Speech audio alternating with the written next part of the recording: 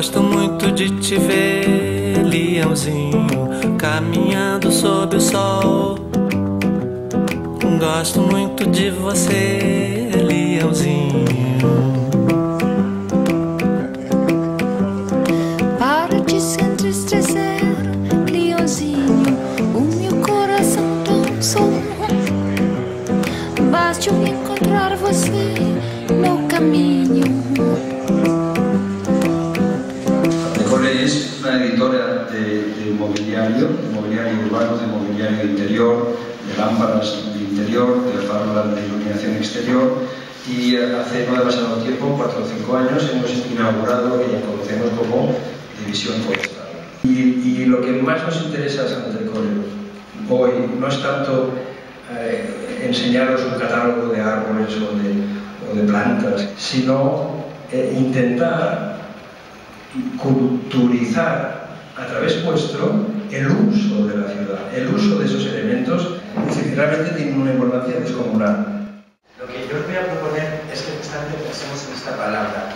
Todo lo que hacéis como planificadores, como arquitectos, como diseñadores, provoca experiencias humanas. La palabra experiencia es muy importante. Casi de todo lo que os voy a contar es lo único importante.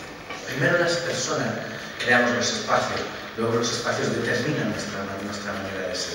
Elementos paisajísticos que ayudan a recuperar el equilibrio psicológico.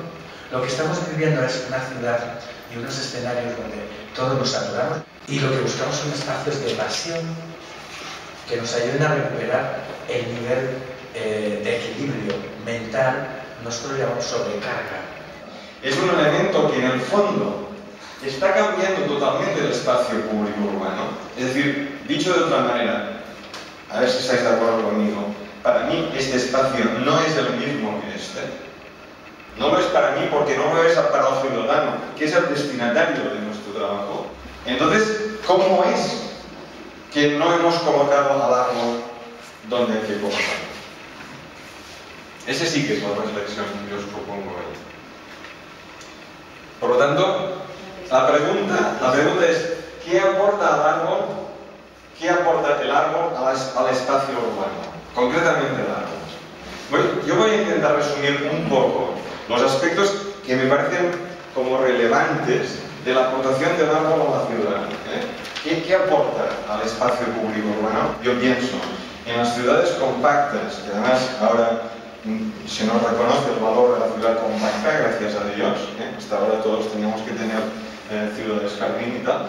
Y pues, tenemos un gran potencial de, volumen verde, no solamente en su arbolado, que evidentemente sí, pero eso condiciona diseñar el subsuelo urbano, sino también en sus muros y en sus azoteas, en sus cubiertas.